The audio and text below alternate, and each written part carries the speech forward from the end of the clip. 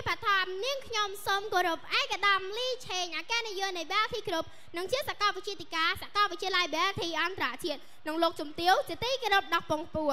សូមគោរពថ្នាក់ដឹកនាំគណៈកម្មការលោកគ្រូអ្នកគ្រូភ្ញៀវកិត្តិយសក៏ដូចជាសិស្សានុសិស្សទាំងអស់គ្នាដែលមានវត្តមាននៅទីនេះជាទីគោរពនិងជាទីមេត្រី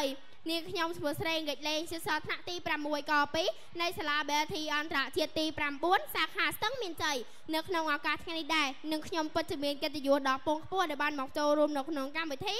ការប្រគល់ប្រជែងនិយាយជាសាធារណៈវគ្គផ្ដាច់ព្រាត់ដែលរៀបចំឡើងដោយសាលា BT អន្តរជាតិក្រមប្រធានបទស្ដាមអំពីចូលប្អូននិយាយអំពីគ្រោះថ្នាក់នៃគ្រឿងញៀនក៏ប៉ុន្តែមុននឹងឈានចូលដល់ការបកស្រាយនៅប្រធានបទខាងលើនេះអនុញ្ញាតឲ្យរូបនាងខ្ញុំបានបញ្យល់នៅពាក្យកន្លឹះមួយចំនួនជាមុនសិន បើយោងទៅតាមសភៅវចនានុក្រមរបស់សម្ដេចព្រះសង្ឃរាជជួនណាតបានឲ្យដឹងថាពេលថាគ្រោះថ្នាក់មាននៅក្នុងទំព័រទី183មានន័យថាទង្វើដែលកាមីដឹងដែលចៃដានចំណែកឯពាក្យថាគ្រឿងញៀនមាននៅក្នុងទំព័រទី181មានន័យថាគ្រឿងផ្សំមួយពួកដែលធ្វើឲ្យញៀនដូច្នេះហើយពាក្យថាគ្រោះថ្នាក់នៃគ្រឿងញៀនមានន័យថាដំណើរដែលត្រូវទទួលរ៉ាប់រងទៅលើសារជាតិញៀន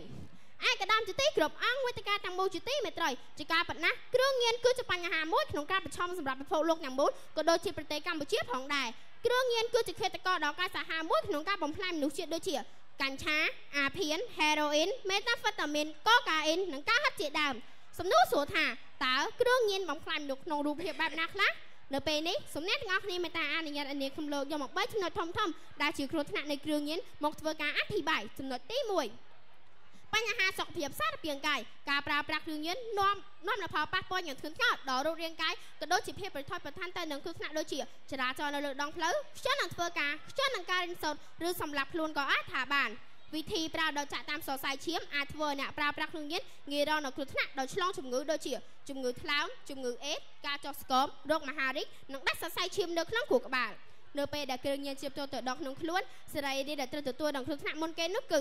សួត ថ្លើមបេះដូងនិងដំដំដងដែលត្រូវខូចខាតដោយសារតែសារជាតិពុលនៃគ្រឿងញៀនចំណុចទី2បញ្ហាសុខភាពផ្លូវចិត្តការប្រើប្រាស់គ្រឿងញៀនផ្ដល់នូវវិបត្តិសុខភាពក៏ដូចជាវិបត្តិផ្លូវចិត្តយ៉ាងធ្ងន់ធ្ងរដូចជាមិនងងុយដេកសតិស្មារតីមិនល្អមើលឃើញឬស្ដាប់ឮនៅអ្វីដែលមិនជាការពិតការសង្ស័យផ្ដេសផ្ដាស់មិនទុកចិត្តគេឬអាចធ្វើបាបអ្នកដទៃចំណុចទី3នោះជាចំណុចចុងក្រោយវិបត្តិសង្គមការប្រើប្រាស់គ្រឿងញៀនអាចធ្វើឲ្យបុគ្គលនៅស្ថិតនៅក្នុងគម្លាតមួយពីសង្គមរបស់គេការប្រើប្រាស់គ្រឿងញៀនអាចឈានទៅដល់ការបំផ្លាញចោលឬរលាយបាត់បង់នៅក្រមសីលធម៌ដែលឡាយពួកគេច្រើនតែកិច្ចវត្តពីភាពទទួលខុសត្រូវនៅអ្វីអ្វីដែលពួកគេបានប្រព្រឹត្តគឺជាអំពើអក្រិតកម្មនិងគ្មានទំនាក់ទំនងជាមួយនឹងអ្នកដទៃការប្រើប្រាស់គ្រឿងញៀនបង្កើតបានជាគ្រោះថ្នាក់ដោយការប្រព្រឹត្តអំពើអក្រិតកម្មដូចជាដបផ្ទះសម្បែងគំរាមទារប្រាក់និងអាចធ្វើបាបអ្នកដទៃដូច្នេះយើងឃើញថាគ្រឿងញៀនវាបង្កលក្ខណៈងាយស្រួលក្នុងមជ្ឈដ្ឋាននៃអក្រិតកម្ម សរុបសេចក្តីមកយើងឃើញថារាជរដ្ឋាភិបាលទទួលទទួលរ៉ាប់ដងក្នុងបញ្ហាជាច្រើនដែលបង្ដាលមកពីឥទ្ធិពលនៃគ្រឿងញៀនដូចជាអំពើអសិលធម៌នានា បាត់ល្មើសឆក់ប្លានអំពើអក្រិតកម្ម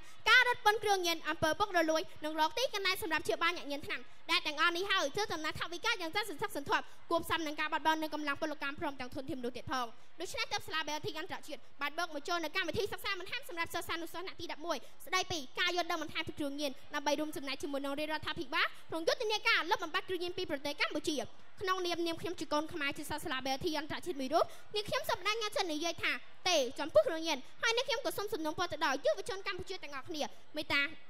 កុំចង់សាកកុំចង់ដឹងនិងកុំចង់ឃើញពីគ្រឿងញៀនពីព្រោះគ្រឿងញៀនមកខ្លាញ់ខ្លួនឯងគ្រួសារនិងសង្គមជាតិចូលអង្គវេទិកាទាំងមូលចង់ចាំថាយុវជនល្អរួមគ្នាបំបត្តិគ្រឿងញៀនគណៈពេលនេះប្រធានបទរបស់នាងខ្ញុំបានមកដល់ទីបញ្ចប់សូមអរគុណស្វាគមន៍សម្រាប់ការបកស្រាយប្អូនមានពេល2នាទីសម្រាប់ការឆែកសំណួរពីគណៈកម្មការផ្ដល់បន្ទូ អាដាមលោកទាវទីក្រុមពងពោះអង្គវេទិកាទាំងមូលជាទីគោរពជំរាបសួរបងអូនស្រីកិច្ចលេងជំរាបសួរលោកគ្រូបាទសំណួររបស់លោកគ្រូសួរថាអូនដឹងពីគ្រោះថ្នាក់នៃគ្រឿងញៀនតើបងអូនធ្វើយ៉ាងម៉េចខ្លួនឯងដើម្បីឲ្យឆ្ងាយពីគ្រឿងញៀនសូមអរគុណចំពោះសំណួរដ៏មានតម្លៃនេះក្នុងរៀមរូបនាងខ្ញុំដែលយល់ពីគ្រឿងញៀនដែលយល់ពីគ្រោះថ្នាក់នៃគ្រឿងញៀនហើយនាងខ្ញុំត្រូវជឿឲ្យឆ្ងាយពីគ្រឿងញៀនដោយមិន ដែលមិនចង់សាកគ្រឿងញៀនមិនចង់ឃើញគ្រឿងញៀនយើងនឹងមិនចង់យល់ពីគ្រឿងញៀនម្យ៉ាងវិញទៀតនេះខ្ញុំក៏ត្រូវជំរុញទឹកចិត្តទៅដល់មិត្តភ័ក្តិរបស់នេះខ្ញុំក៏ដូចជាក៏ដូចជាក្រុមគ្រួសាររបស់នេះខ្ញុំត្រូវជាឲ្យឆ្ងាយពីគ្រឿងញៀនពីព្រោះគ្រឿងញៀនគឺជាអំពើអបាយមុខមួយដែលធ្វើឲ្យមនុស្សគ្រប់រូបជួបប្រទះទៅនឹងអំពើជួបប្រទះទៅនឹងអំពើដែលមិនល្អចំពោះខ្លួនឯងក៏ដូចជាសង្គមជាតិទៀតផងសូមអរគុណ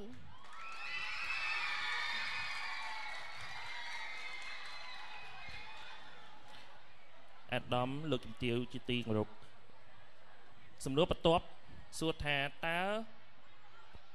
សកម្មភាពណាខ្លះដែលបងអូនគិតថាអឺជួយអឺដល់អ្នកដែលញៀនថ្នាំ